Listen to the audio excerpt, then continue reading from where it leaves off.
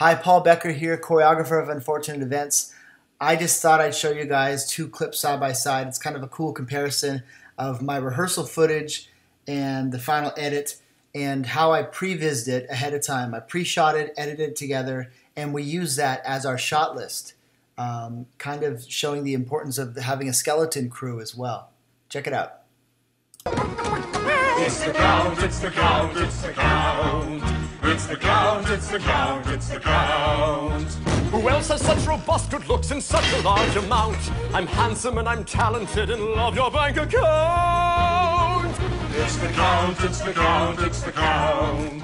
It's the count, it's the count, it's the count. The C is for courageous, just another word for brave. Oh, Oh my god, what a very handsome knave.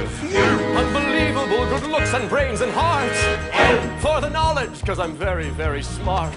T for the talent, which is such a crucial factor when you're handsome and good looking and the world's greatest actor. the count, it's the count. It's the count, it's the count. Who else has such robust good looks in such a large amount? I'm handsome and I'm talented and love your bank